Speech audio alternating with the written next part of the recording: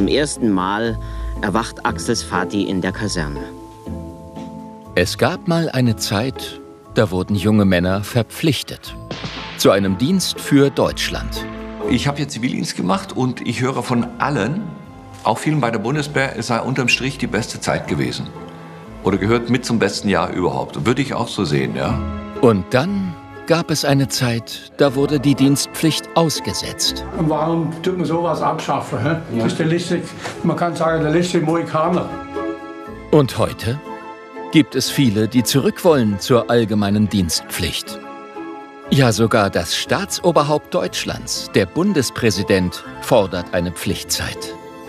Jeder sollte einmal im Leben etwas tun für andere Menschen, die ihm fremd sind. Alleine die Tatsache, dass man für ein Jahr seines Lebens nicht selber entscheidet, wo es jetzt lang zu gehen hat, sondern dass jemand anders sagt, Freundchen, du tanzt ja nächsten Montag an und so, das kann nicht schaden.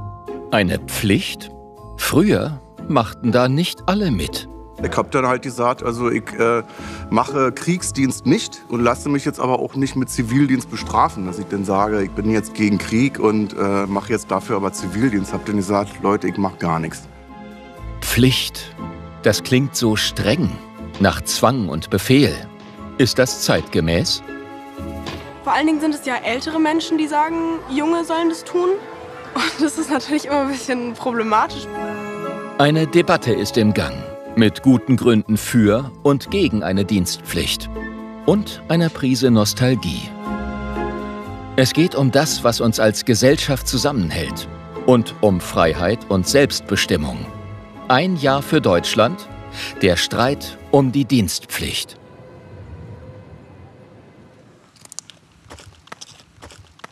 Mein Name ist Marius Matthäus, ich komme aus Bielefeld, bin 19 Jahre alt und äh, mache hier mein freiwilliges soziales Jahr in der Stiftung Bethel. Und am Anfang war das immer, ähm, muss man erst mal reinkommen. Ne? Da äh, ist eine völlig neue Welt, die man vorher oder die ich vorher zumindest nicht kannte. Ähm, Ob es jetzt der ganz normale Umgang mit den Menschen ist oder auch die Pflege oder auch selbstverletzendes Verhalten, äh, solche Sachen, die habe ich vorher in meinem Leben noch nicht äh, gesehen und die äh, waren erstmal neu und dann mit der Zeit gewöhnt man sich dran und ähm, irgendwann ist es nicht mehr abschreckend. Marius Matthäus ist freiwillig in einer Werkstatt, in der Menschen mit Behinderungen arbeiten oder ihren Tag verbringen, wie Erik Svensson. Also der Erik, der äh, zieht immer gerne seine Schuhe und seine Socken aus. Und die, in der Werkstatt sind natürlich, äh, kann alles rumliegen, ne? Schrauben etc. Deswegen sollte er seine Schuhe, also seine Hausschuhe tragen. Ähm, und das ist so ein regelmäßiges Ding, dass er die gerne wieder auszieht und dann äh, muss man die immer wieder anziehen, vor allem wenn man irgendwo hingeht. Ne? Und jetzt gehen wir zum Frühstück. Ähm, es ist Frühstückszeit und deswegen ziehe ich da immer die Schuhe vorher an. Marius Matthäus ist einer von den rund 52.000 jungen Menschen, die sich im vergangenen Jahr für ein freiwilliges soziales Jahr entschieden haben. Wir werden Marius Matthäus in diesem Film noch öfter sehen. Lass dir schmecken.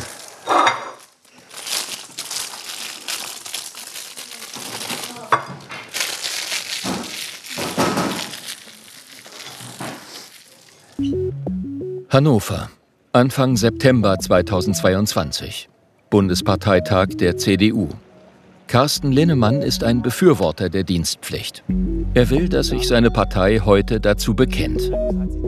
Die CDU wäre damit die erste Partei im Bundestag, die ein Pflichtjahr für Frauen und Männer anstrebt. Moin, hi. Guten Morgen. Ach, Herr, Herr Rhein, reden Sie gleich zum verpflichtenden Gesellschaftsjahr? Ja, super. Wir, wir machen Gesellschaftsjahr, machen Ja, wir kommen besser als später. meiner. Nein, nein, nein, das stimmt überhaupt, nein, nein, nein, das stimmt überhaupt nicht. Ach, um Gottes Willen. Äh, wir, hi, hallo, Kommt später, Morgen, kommt später. Kommt später. Aber das müssen wir Alles durchsetzen, klar, das ne? setzen wir durch. Sehr gut, machen wir. Klasse. Die Umsetzung folgt ja dann erst noch. Auch die Diskussion, Eben, das ist doch nicht eben, von heute auf, das dauert ja Jahre. Aber erstmal eine. Position. So, Top. Top.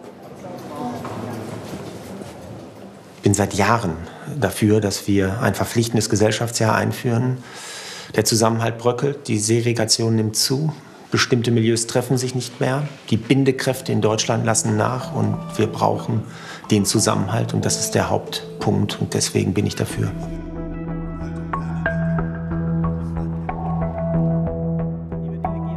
Dieses Ding können wir gar nicht von heute auf morgen umsetzen. Da braucht es eine ganz große gesellschaftliche Debatte. Das dürfen wir nicht übers Knie brechen. Volle Pulle d'accord. Deswegen bin ich auch dem Bundespräsidenten dankbar, dass er die Debatte gesucht hat. Und ich finde es schade, dass viele Politiker der Ampelparteien es gleich im Keim erstickt hat. Wir müssen die Partei sein, die diese Debatte auch in der Gesellschaft will. Für seinen Pflichtzeitvorschlag im Sommer 2022 wurde der Bundespräsident von vielen Seiten kritisiert. Was die soziale Pflichtzeit angeht, war mir im Vornherein klar, dass das keine Idee ist, die von selbst fliegt. Wenn es so wäre, hätte ich den Vorschlag auch gar nicht machen müssen, sondern der Vorschlag war ja eher getrieben von der Sorge, dass wir Zusammenhalt wiederherstellen müssen. Im Herbst lädt der Bundespräsident Gegnerinnen der Dienstpflicht wie Jonah Dörr ein. Die Schülerin hat dem Staatsoberhaupt einen offenen Brief geschrieben. Warum wollen Sie uns zu etwas zwingen? Glauben Sie wirklich, dass man durch Zwang das Gemeinwohl und die Gemeinschaft stärken kann? Nein, Herr Präsident, das glaube ich nicht. Ich bin ziemlich aufgeregt, ich habe kaum die Nacht geschlafen, aber ich freue mich jetzt auch, dem Bundespräsidenten meine Meinung zu sagen. Wird Jonah Dörr dem Bundespräsidenten ihre Meinung sagen können? Das werden wir später erfahren. Eine Pflicht für junge Menschen, die gab es jahrzehntelang, aber nur für Männer. Wehrdienst. Oder Zivildienst. Brauchen wir, braucht die Gesellschaft so etwas heute wieder? Ich glaube, äh, ein Jahr für die Allgemeinheit, das hört sich für mich prinzipiell erstmal richtig gut an. Äh, und kann auch zur Orientierung dienen. Ich glaube, ich kann nur von mir selber sprechen. Ich habe ein Jahr lang äh, Zivildienst in der Psychiatrie gemacht. Das war bis dahin das lebenswerteste Jahr, was ich hatte. Ich bin mir endlich mal für was zunutze vorgekommen. Ich war tätig in der Landesklinik Grafenberg, Psychiatrie, Beschäftigungstherapie. Das war für mich sehr, sehr schön.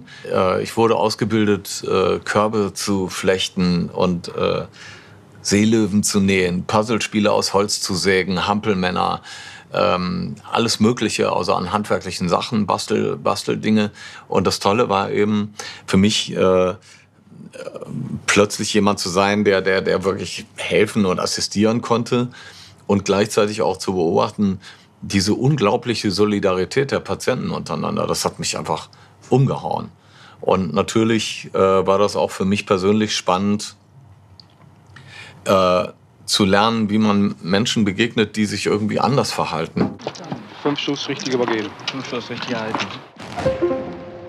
Wehrdienst. Wehrersatzdienst. Lernten die damals was fürs Leben? War eine tolle Zeit. Oh, und ich habe eigentlich mein ganzes Berufsleben später auch von diesem Zivildienst profitiert, von dem, was ich da erlebt habe und wo ich Einblicke bekommen habe. Ich war ja erst drei Monate beim Roten Kreuz und dann den Rest der Zeit im Pfarrbüro bei der katholischen Kirche. Man hat für mich die Stelle beantragt. Ich war der erste Zivi auf der Stelle, weil ich spielte ja auch da Sonntagsorgel.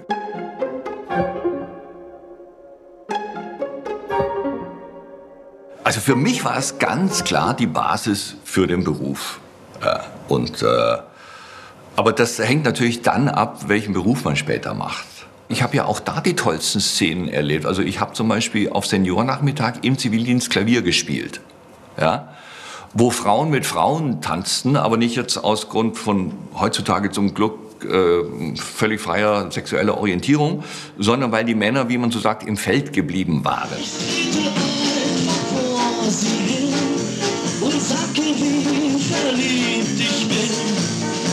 Und äh, ich kannte ja auch, ich meine, da muss man sagen, das war dann, was war 70er Jahre, da war ja der Zweite Weltkrieg. Betroffene waren dann noch die, Haupt, die Hauptklientel bei diesen äh, Seniornachmittagen. Und dann sagte zum Beispiel ein Mann zu mir, ähm, Herr Schmidt, wie groß sind Sie? Und ich sage 1,94 Meter. Donnerwetter, da wären Sie ja LAH gewesen. Und ich wusste nicht, was das ist, ja. Und das war Leibstandarte Adolf Hitler. Also das heißt, äh, man wurde permanent sozusagen mit diesen Fachausdrücken konfrontiert. Auch so ganz locker, das ist eine Kriegerwitwe. In seinem freiwilligen sozialen Jahr hat Marius Matthäus einen selbstverständlichen Umgang mit behinderten Menschen gelernt. Eine seiner Aufgaben, Erik Svensson auf die Toilette begleiten.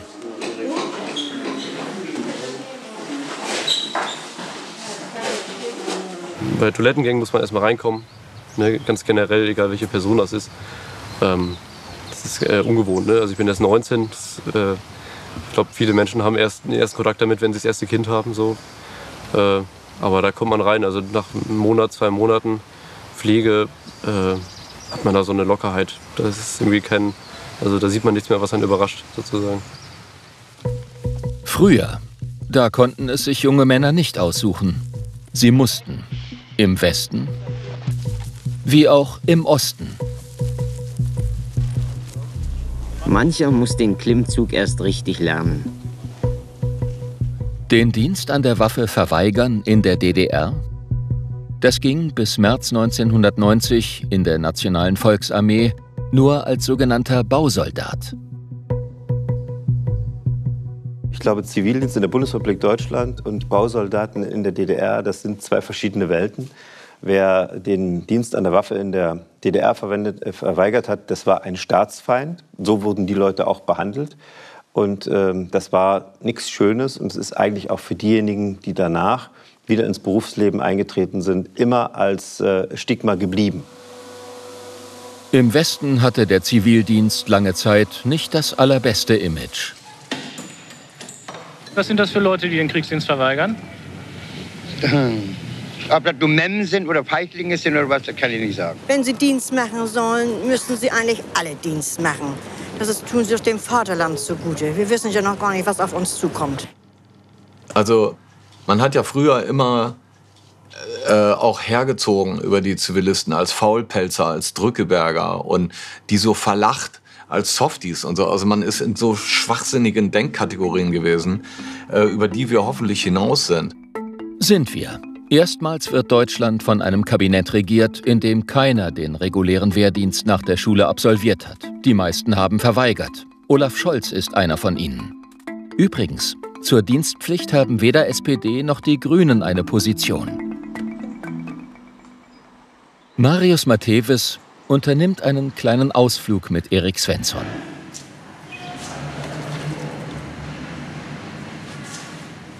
Greift an die Scheibe und Genau.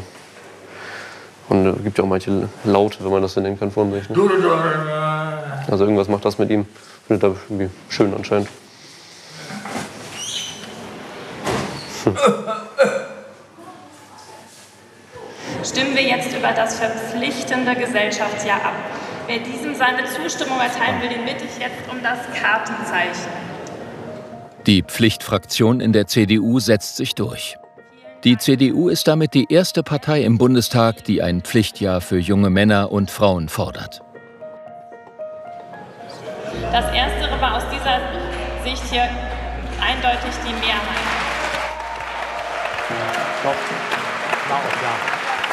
Natürlich super. Das wäre jetzt ähm, nicht schön gewesen, wenn das jetzt nicht durchgekommen wäre. Ich freue mich sehr. Wir haben jetzt einen Punkt ähm, als einzige Partei.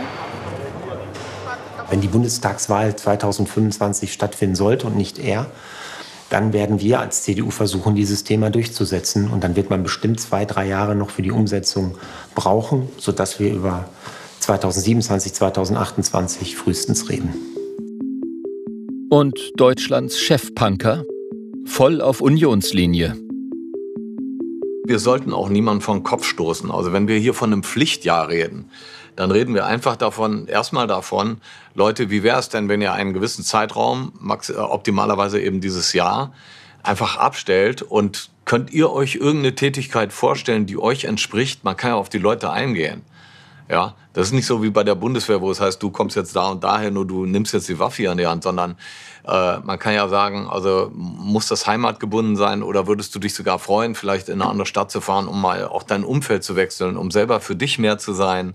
Ja, und was liegt dir mehr? Bist du besser im Umgang mit Menschen oder äh, ist die Tierpflege was für dich oder findest du Feuerwehr gut oder sonst was? Da kann man ja erstmal, das ist ja ein Riesenkatalog.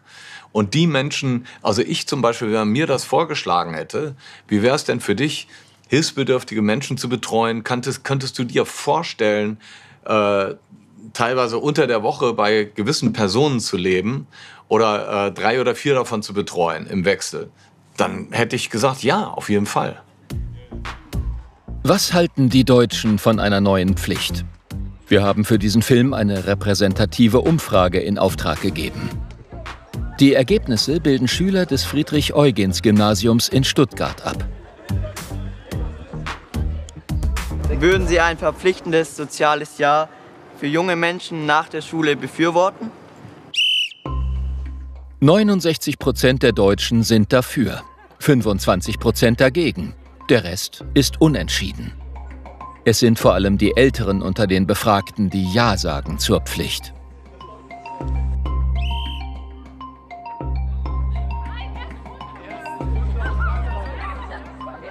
Ich finde, das ist halt so ein bisschen unfair, dass wir von, von den Alten gezwungen werden, obwohl unser Land, also obwohl wir die Zukunft unseres Landes sind, das vielleicht einfach nicht wollen.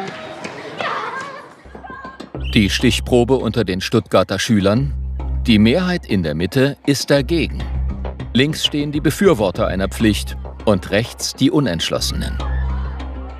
Ich bin tatsächlich eher für ein Pflichtjahr, einfach weil ich finde, dass man so viel vom Staat bekommt. Eben Schule, es ist alles kostenlos, Bildung in Deutschland.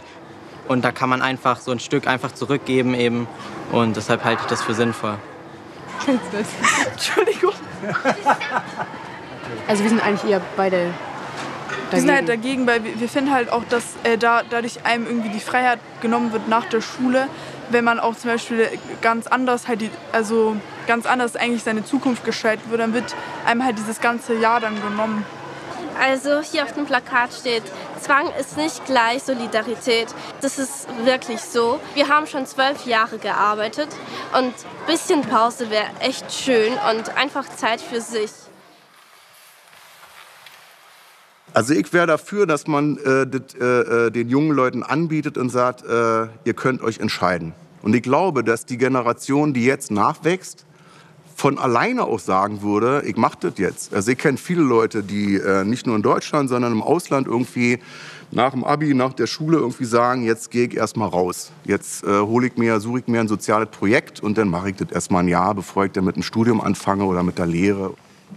Na klar, eine Pflicht schränkt die Freiheit ein. Aber Generationen von Männern mussten damit leben. Sind Sie gern Soldat? Ach, nee. Bin ich nicht. Warum nicht? Ach, alles scheiße hier. Warum sind Sie Soldat? Weil ich Soldat werden musste. Ist aber nicht das schönste Gefühl, wie Sie sehen hier. Also gerne bin ich bestimmt nicht hier. Wenn es nach mir ginge, hätte ich hier überhaupt nichts zu suchen. Äh, darf ich noch, noch mal was sagen? Vor allen Dingen, ähm, wenn es da heißt, ja, die Freiheit wird angegriffen, äh, äh, der, der Staat kann uns nicht eines Jahres berauben. Äh, bis in die 90er rein hat der Staat einfach mal jedem ein, äh, des Jahres beraubt. Und die Leute kriegen das auch nicht wieder. Da heißt es über Nacht dann, das ist abgeschafft. Was sollen denn all die sagen, die das schon geleistet haben? Also da kann man doch auch nicht sagen, äh, ja, Pech für euch, dass ihr so geboren seid. Das finde ich irgendwie, äh, finde ich schade. Wer eine Dienstpflicht für Männer und Frauen einführen will, kommt wohl um eine Änderung des Grundgesetzes nicht herum. Artikel 12 Absatz 2. Niemand darf zu einer bestimmten Arbeit gezwungen werden, außer im Rahmen einer herkömmlichen Dienstleistungspflicht. Eine neue staatliche Pflicht bräuchte eine neue Behörde, wie einst. Betroffene müssten erfasst und angeschrieben werden. Der bürokratische Aufwand ist ein Argument jener, die die Pflicht ablehnen. Tada! Das ist ja ein Thema Pflichtjahr, was ähm, jetzt wieder sehr stark in Mode kommt, darüber zu diskutieren. Äh, die einen wollen ein äh, neues verpflichtendes Jahr, um bei der Bundeswehr zu dienen, die anderen nennen es Gesellschaftsjahr. Wir sind äh, der Meinung als Freie Demokraten, übrigens gerade nach der Corona-Zeit, wo viele junge Menschen auch wirklich Zeit, auch emotional und sozial Zeit verloren haben, dass das auf keinen Fall ein Pflichtjahr sein darf. Ja, es muss Angebote geben, keine Frage. Und ich bin sicher, dass der eine oder die andere das auch gerne macht. Aber dass das verpflichtend ist, das ähm, lehnen wir ab.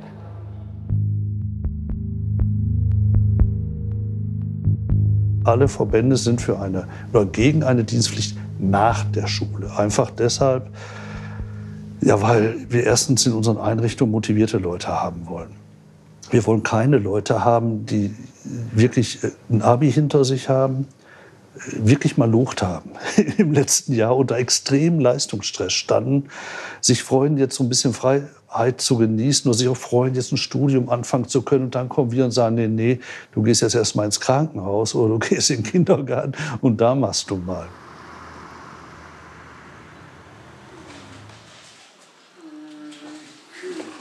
Hast du dann ein Spiel? I. I. Willst, willst du mal aufmachen? Um. Ui. Um. Pfui. Pfui. Ist das die Katze hier? I. Pfui.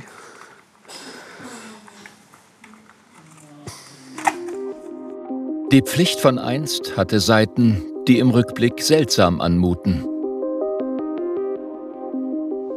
Sie bitte Platz. Ich möchte Sie dann hiermit offiziell vor dem Ausschuss für Kriegsdienstverweigerung beim Kaiserreichsamt Karlsruhe begrüßen und damit auch zugleich die Verhandlung vor dem Ausschuss für Kriegsdienstverweigerung eröffnen. Kriegsdienstverweigerer mussten sich bis in die 80er Jahre einer Gewissensprüfung unterziehen, wie auch Harald Schmidt. Ich hatte dann ja noch eine, eine Verhandlung in, in Stuttgart auf dem Kreiswehrersatzamt. Da hat mich, äh, die, die dauerte zwei Minuten, meine Verhandlung. Also wir saßen da so fünf, sechs Mann. Ähm, ich war damals eigentlich schon so ähnlich angezogen wie heute. Rings um mich alles sehr lange Haare, Parker, Peace-Zeichen, Stirnbänder. Und, und die meisten sagten, ich habe mir Tipps vom Chili geholt. Ja, weil Otto Schily verteidigte ja damals zusammen mit dem seligen äh, Hans-Christian Ströbele die RAF, also ganz in der Nähe in Stammheim, und, äh, und gab äh, Beratung für Verweigerer. Und das, das hatte ich nicht, ne? aber ich kam rein und äh, die, das Prüfungskomitee, vier ältere Herren, sagten, na ja, wissen Sie, was heute für ein Datum ist? Sag ich, 20. April. Und dann sagte einer, und? Und ich sagte, ja, Führers Geburtstag. Und dann ging so ein befreites äh, Atmen durch den Raum. Das wusste ich noch von meinem Vater, der war ja früher schulfrei. Ja, also ich bin natürlich sehr kritisch dieser Zeit gegenüber, aber ich kannte halt die offizielle Formulierung, wie das hieß. Und ähm, äh, scheue fast nicht vor der Pointe zurück. Der Führer hat mich vor der Bundeswehr gerettet. Ne? Den Kriegsdienst verweigern, das ging dem Gesetz nach nur aus innerer Überzeugung. Die Gründe, die mich bewogen, den Kriegsdienst zu verweigern, waren rein eher menschlicher Natur. Und zwar sagte ich mir, die 50 Millionen Menschen, die im letzten Weltkrieg umgekommen sind, waren gewissermaßen umsonst. Ich berufe mich dabei auf die Bergpredigt, in der es meines Erachtens sehr genau aufgezeichnet steht. Und auf welche Predigt hat er sich berufen? Michael Kretschmer, Jahrgang 1975. Ich war eigentlich niemand, der äh, etwas gegen Bundeswehr hatte. Äh, und äh, deswegen fand ich so jetzt zu sagen, Zivildienst, ähm, das ist jetzt so mein, mein Gewissenskonflikt, den hatte ich nicht. Aber ich war eigentlich auch so eingebunden als Stadtrat in Görlitz und in meinem Arbeitsumfeld, dass ich eigentlich das Rausreißen auch nicht wollte. Deswegen war Katastrophenschutz damals bei den Maltesern so eine richtig Versorgungseinheit äh, das Richtige. Acht Jahre Verpflichtung und äh, es kam ja dann auch die Flut 2002 hier in Dresden und da sind wir auch richtig gefordert gewesen. Daran erinnere ich mich äh, manchmal und es war, war eine gute Zeit. Er dient nicht. Jochen N., 23, ledig. Gemustert, vorübergehend zurückgestellt, nie nachgemustert. Befehle gibt er nur sich selbst. Seine Freiheit ist nicht kasernenreglementiert. Jochen N. ist kein Einzelfall. Ja, diesen Zettel, ich weiß gar nicht, wie der aussah. Ich habe, glaube ich, erst mal gedacht, dass es eine Mahnung ist. Und dann äh, war das dieser Musterungsbescheid, wo ich dachte, ey Leute, das passt mir gar nicht in den Kragen, dass ich jetzt ein Jahr rausgenommen werde oder anderthalb für Zivildienst. Und bin dann zu den äh, Kriegsdienstverweigerern gegangen. Mit der steigenden Zahl der Einberufungen wird vermutlich auch die Zahl der Kriegsdienstverweigerer steigen. 1971 waren es schon 30.000. Die haben mir dann damals geholfen, dass sie gesagt haben, also zur Musterung hingehen, ne, diesen Pullergriff da ertragen, äh, am Puller rumgrabbeln und husten. Äh, das haben sie gesagt, das mach mal mit.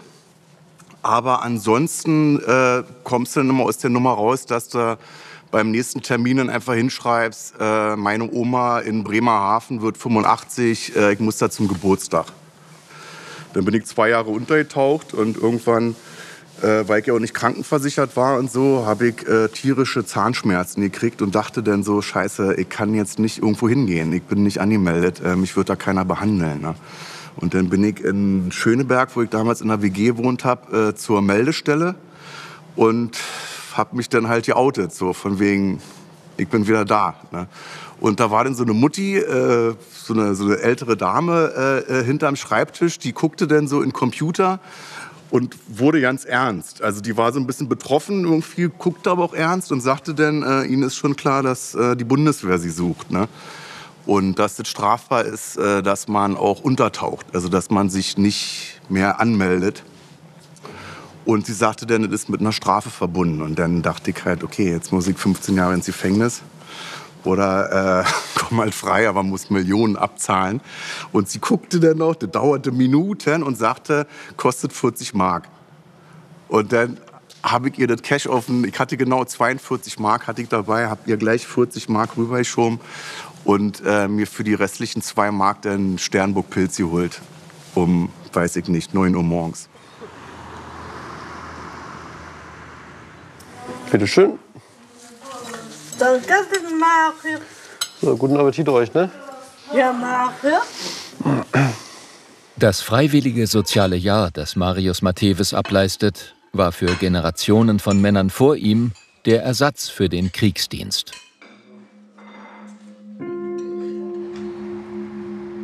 In den von Bodelschwingschen Stiftungen Bethel in Bielefeld fingen 1961 die ersten Zivildienstleistenden an.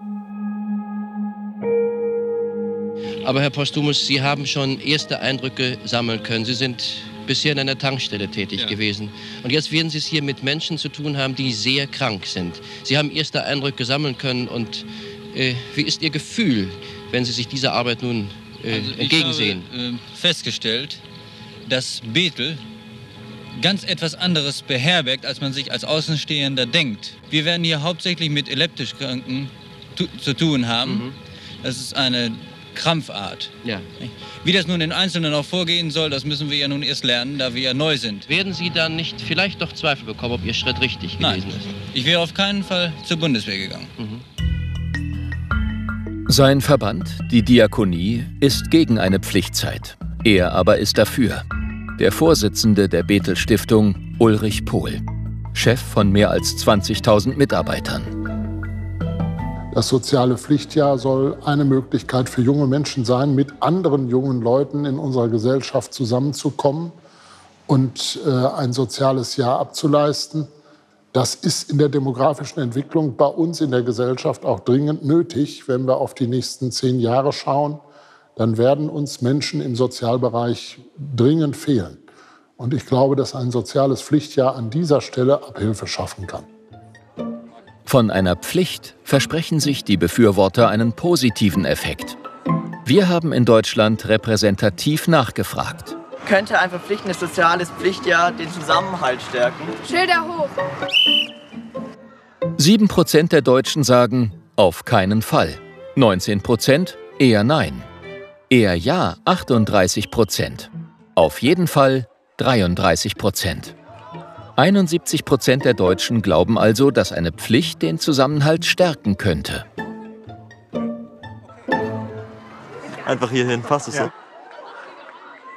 Ich glaube schon, dass den Zusammenhalt stärken könnte. Erstmal so aus sozialen Bubbles, so dass Leute zusammenkommen und die soziale Spaltung halt ein bisschen aufgehoben wird.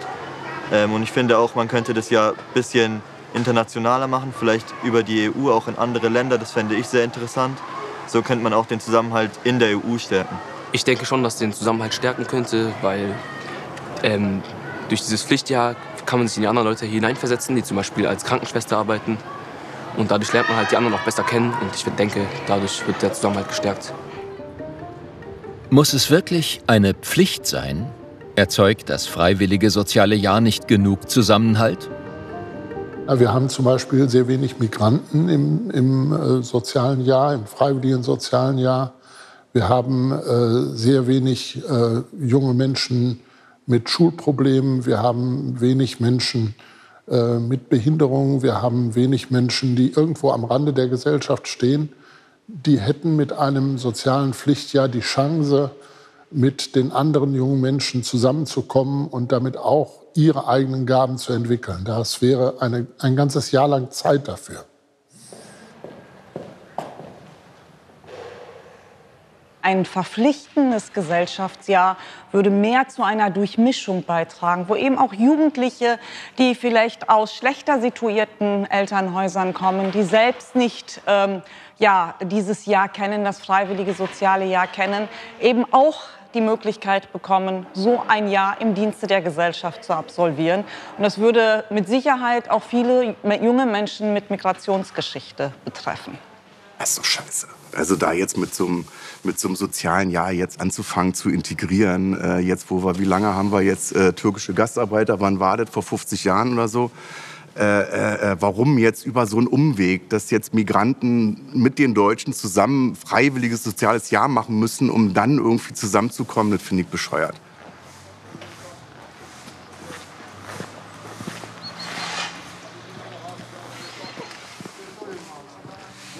Am Anfang des Tages guckt man so, was habe ich vor, mit welchen Leuten kann ich was unternehmen, vielleicht auch zusammen oder so.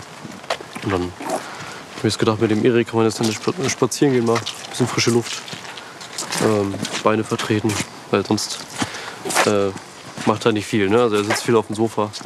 Arbeiten kann er, also produzi produzieren sozusagen kann er nicht. Ähm, deswegen äh, guckt man immer, wie man den Tag gestaltet, dass er auch irgendwie was erlebt, ne? dass er nicht neun Stunden auf, oder nicht neun oder acht Stunden auf dem Sofa sitzt und auf Klo geht zwischendurch und isst. Das ist ja dann irgendwie auch nichts Wahres. Ne? Also wird schon so einen, einen netten Tag zu, zu gestalten immer. Und bei Erik ist halt wichtig, dass er immer unter Aufsicht ist, weil er äh, Epilepsie hat und äh, regelmäßig Anfälle kriegt. Und wenn er halt stürzt, ne, dann äh, also kann ich auch nicht verhindern, dass er sich verletzt teilweise, aber muss halt immer dabei sein, dass man dann wenigstens reagieren kann. Ne? Also deswegen immer äh, ist man immer dabei. Also man lässt ihn nicht, alleine irgendwo hin. Mhm.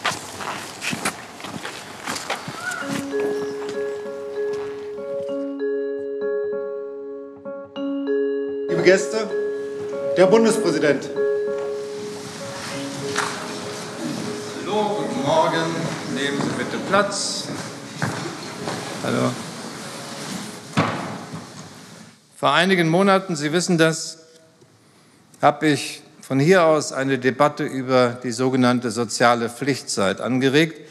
Eine solche Pflichtzeit müsste, das habe ich öffentlich mehrfach erläutert, auch kein ganzes Jahr dauern. Sie kann auch kürzer sein. Sie kann nach meiner Vorstellung auch über mehrere Lebensabschnitte verteilt sein.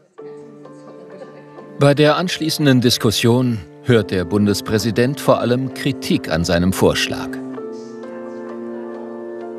Da finde ich es einfach einen falschen Ansatz, jetzt zu sagen, wir kriegen ein gesellschaftliches Wir, indem wir Menschen jetzt nochmal die Freiheit nehmen. Es ist Jonah Dörrs erster Besuch beim Bundespräsidenten. Zu Wort kommt sie nicht. Ich konnte dem Präsidenten jetzt meine Meinung leider nicht mitteilen und ich konnte ihn auch nicht meine wichtigste Frage fragen und die wäre, was mit den Leuten passiert, die ein soziales Pflichtjahr verweigern. Werden die wieder ins Gefängnis gesteckt? Werden die kriminalisiert? Was macht man mit denen? Was passiert überhaupt mit denen? Und diese Frage kommt allgemein in dieser Debatte einfach viel zu kurz und das wurde auch heute nicht angesprochen. Das geht einfach nicht.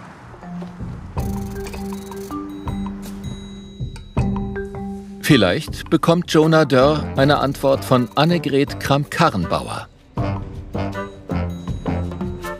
Sie gilt als die Mutter der Dienstpflichtdebatte. 2018 löste die damalige CDU-Vorsitzende die erste deutschlandweite Diskussion über eine Pflicht für junge Menschen aus.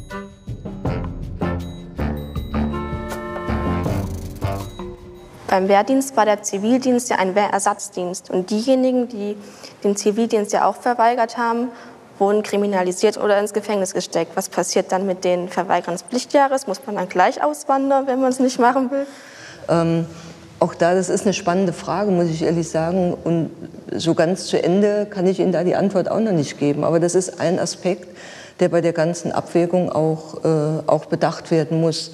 Ähm, aber natürlich ist es so, wenn Sie alle erreichen wollen, dann äh, ist es eben auch, äh, äh, eben auch wichtig, dass sie ähm, möglichst wenig Schlupflöcher dann auch haben. Ich meine, sie werden auch immer Menschen haben, die, äh, die vielleicht gerne das machen würden, aber aus gesundheitlichen Gründen zum Beispiel nicht in der Lage sind. Auch dafür müssen sie entsprechende Regelungen finden. Aber die Frage, wie, wie geht man mit denen um, die sich total verweigern, das ist in der Tat äh, noch eine Frage, die geklärt werden muss, die ich auch noch nicht 100 Prozent beantworten kann. Das stimmt.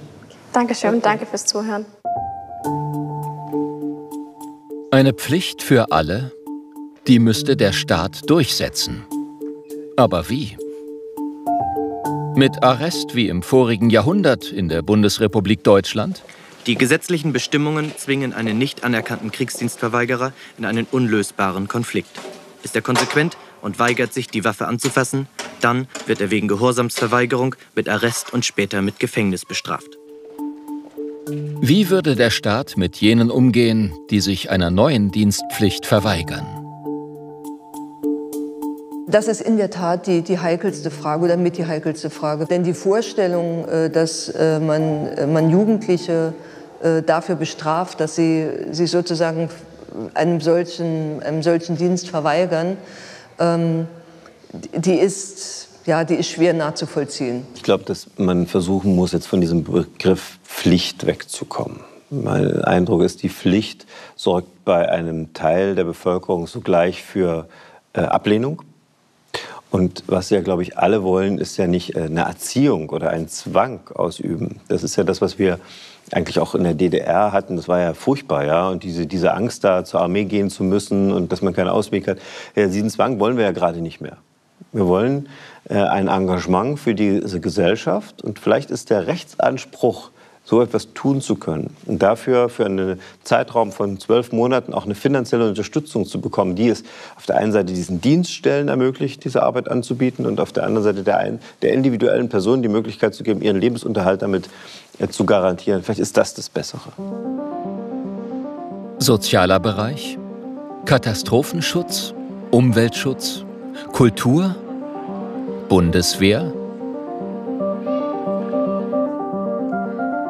Und Frage Nummer drei wäre, in welchen Bereichen sollte ein soziales Pflichtjahr absolviert werden? Hoch. Die Befragten konnten mehrere Bereiche auswählen. Das Ergebnis? Mit 81 Prozent liegt der soziale Bereich vorn. Die geringste Unterstützung erhält die Bundeswehr mit 51 Prozent. Dazwischen Katastrophenschutz, Umweltschutz und Kultur. Also ich sehe mich eher in der Bundeswehr, weil ich finde das sehr interessant und ja, das hatte ich auch schon so in Planung, nach der Schule ein Jahr in der Bundeswehr zu sein. Und ja. Bundeswehr? Mm, also ich bin jetzt persönlich dagegen, aber wer es machen will, kann es gerne machen. Also ich finde, dann können die Leute auch Erfahrungen sammeln, auf jeden Fall und dazu lernen, Disziplin lernen. Ich wüsste auch, was ich machen würde. Ich würde wahrscheinlich zum Wehrdienst gehen, wenn man das machen müsste. Warum? Ich fände ich glaube, ich fände das am meisten interessant so. Die Bundeswehr als eine Möglichkeit für ein Pflichtjahr? Das wäre eine Wahlwehrpflicht. Seit 2011 ist die Wehrpflicht ausgesetzt. Ich glaube, die Entscheidung war damals wirklich auch der Zeit etwas geschuldet, auch der, der Betrachtung, äh, in welchem sicherheitspolitischen Umfeld äh, leben wir. Äh, und äh, wenn uns die letzten Jahre was gelehrt haben, dann ist es, dass sich sicherheitspolitische Umfelder sehr, sehr schnell wieder ändern können. Der Ukraine-Krieg, die sogenannte Zeitenwende, stellt bei einigen alte Überzeugungen in Frage. Damals gab es diesen Wehrdienst. Ich habe das verweigert. Es war damals richtig, unter den Vorzeichen von damals. Heute weiß ich nicht, wie ich reagieren würde. Ähm, zumindest allerdings, wenn ich wüsste, dass unser Land, also unser Europa, denn wenn ein Mitglied der äh, NATO angegriffen wird, sind wir ja mit drin. Wenn das bedroht würde, dann weiß ich nicht, ob es über Herz, übers Herz bringen würde, zu sagen, ja, ja, ähm, das müssen jetzt die anderen machen. Die, prinzipielle Idee des Wehrdienstes ist die demokratischere und die geerdetere Version. Also, ich meine, man braucht ja dann doch Leute, die diesen Beruf können. Ja? Das ist, glaube ich, mit so einer Wehrpflicht und schnell mal, ähm, zeig mir mal, wie rum man die Waffe hält, ist es nicht getan. Ja? Das ist ja, muss ich, muss ja noch, das ist ja auch alles hochtechnisiert heutzutage. Äh, auf der anderen Seite muss man jetzt wieder sagen, äh, unsere amerikanischen Freunde sind ja äh, in Afghanistan doch mit von, von, von Männern mit Flipflops und auf Mopeds äh, verjagt worden. Also Ausbildung ist auch nicht alles. Ja, es scheint dann doch irgendwie eine Motivationsfrage und so zu sein oder eine, eine, eine Unterstützung in der Bevölkerung.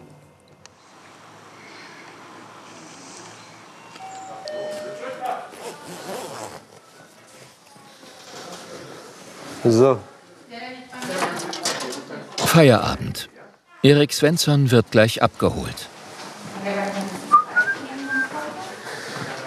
Wie hätte sich Marius Matthäus wohl gefühlt, wenn sein freiwilliges soziales Jahr eine Pflicht gewesen wäre? Ich bin ja jetzt recht frisch aus der Schule raus und ich glaube, hätte mir jemand gesagt, also ich habe ja schon aufs Abi hingeguckt, so, ne? Abi und dann ist erstmal Schluss. Und wenn ich da gewusst hätte, ja, jetzt musst du noch ein Jahr dranhängen, hätte ich erstmal prinzipiell gesagt, habe ich keine Lust drauf. Ne? So vom ersten Gefühl her. Ich habe es ja jetzt gemacht, ne? das ist, äh, also für mich ist jetzt ein komischer Fall, ne? aber Leute, die es nicht machen, ich glaube, es gibt viele Leute, die es, wenn sie es dann machen müssten, äh, wo es keinen Spaß machen würde. Und wo das dann natürlich für die Person selber kacke ist, weil die keinen Spaß haben, aber auch für die jeweilige Einrichtung ist es halt einfach nicht hilfreich, wenn da jemand sitzt, der keine Lust hat. Ich, also, da sehe ich irgendwie nicht den äh, Mehrwert hinter. Marius Matthäus wird im sozialen Bereich erhalten bleiben. Sein Plan nach dem freiwilligen Jahr eine Ausbildung zum Notfallsanitäter. Die Pflicht von damals. Das war ein Entweder-Oder. Wehr- oder Zivildienst. Eine neue Pflicht würde viel mehr Einsatzmöglichkeiten bieten. Vielleicht auch im Ausland. Ich äh, bin nicht für ein Pflichtjahr. Ich glaube, das Ganze sollte auf freiwilliger Basis passieren, in der Einsicht, dass es unter Umständen die tollste oder wertvollste Zeit im Leben sein kann oder mit dazu gehören. Es wird nicht leicht sein, das durchzusetzen. Ich finde es trotzdem unbedingt erwägenswert, weil ich grundsätzlich denke, dass die Vorteile überwiegen. Wir leben in einer Zeit, wo es ständig zu Antipoden kommt und Gegenpolen. Wir leben in einer Zeit der gesellschaftlichen Widersprüche innerhalb von Generationen. Es wäre ein Riesenschritt äh, für äh, Deutschland, für unsere Gesellschaft, eine solche Entscheidung zu treffen. Vielleicht strukturell eine der größten politischen Entscheidungen der Nachkriegszeit wieder. Aber ich finde schon, wir tun uns überhaupt nichts Schlechtes, sondern eher etwas Gutes, wenn wir in Volksbefragungen so eine Frage mal der deutschen Bevölkerung vorlegen. Also ich fände auf jeden Fall gut, äh, dass da jemand ist, der uns beide, wenn wir dann, weiß ich nicht, vielleicht ziehen wir zusammen irgendwie, uns dann äh, hilft. So. Freiwillig. Ich möchte nicht einen jungen Mann oder eine junge Frau haben, die gezwungen wird, äh, mich zu pflegen. Das sollte auf freiwilliger Basis passieren. So, und jetzt raus hier.